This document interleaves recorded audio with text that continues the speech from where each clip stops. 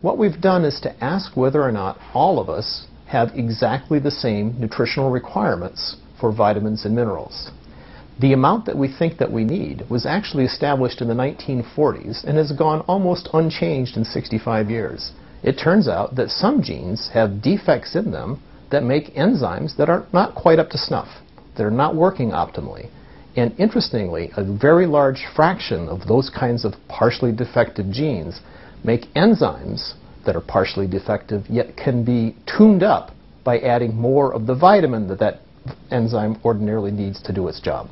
So for those people who choose to get a genome sequence, we'll help them interpret a subset of the genetic variants that they'll discover in their genome in a way that they can say, ah, it looks like on average I may need more vitamin B6 than the next person does.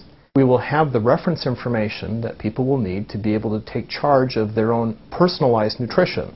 It's a form of the personalized medicine that you read about and hear about. This is a form of personalized medicine and personalized genetics that each consumer will have the opportunity to make their own decisions on and act on in ways that will no doubt improve their, their health. One of the things that I find very gratifying is that the power of modern biomedical research is such that the time between when one has the inspiration to try something new and the time which you can actually test the idea and try to act upon it is really short.